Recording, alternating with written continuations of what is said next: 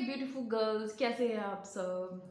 आज मैं आपको बताऊँगी कि किस तरह से हम टीन एज ग्रुप में लाइक अगर आपकी उम्र 16 है, सतारह, अठारह, उन्नीस है और मम्मा ज़्यादा मेकअप नहीं करने देती है और आपको मेकअप भी करना है और बाहर भी जाना है, आप किसी फ़ंक्शन में पार्टी को या कहीं पे भी ओकेज़न कोई भी अटेंड करना चाहते हैं और मेकअप करना चाहते हैं तो आप कैसे एक अच्छा मेकअप लुक जो है वो क्रिएट कर सकते हैं सिर्फ़ दो मेकअप प्रोडक्ट के साथ?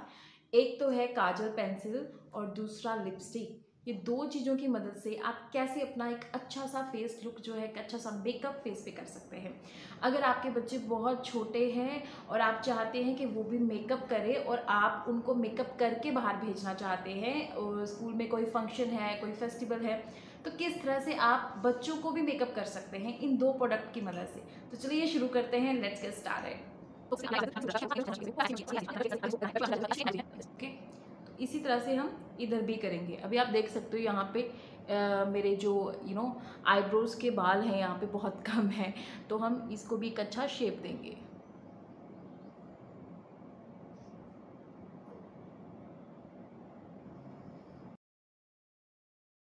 नाउ होल ओके तो अब बारी आ जाती है मेकअप बाकी का मेकअप कैसे करें? तो उसके लिए सबसे पहले हम लेंगे लिपस्टिक यहाँ पे भी मैं मेबलिन का लिपस्टिक यूज़ कर रही हूँ, जो बहुत अच्छा है।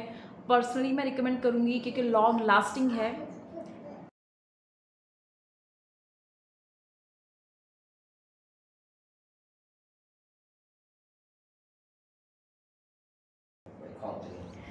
सो गाइस ये कलर बहुत लाइट है, इसलिए आपने लिपस्टिक के ऊपर, अपने लिप्स के ऊपर और नीचे अच्छे से अप्लाई कर देना है। तो सेम कोड का अप्लाई कीजिए, क्योंकि ये डार्क कलर नहीं है तो छोटे बच्चे के लिप्स जो है वो वैसे ही पिंक पिंक से होते हैं और बहुत अच्छे लगते हैं।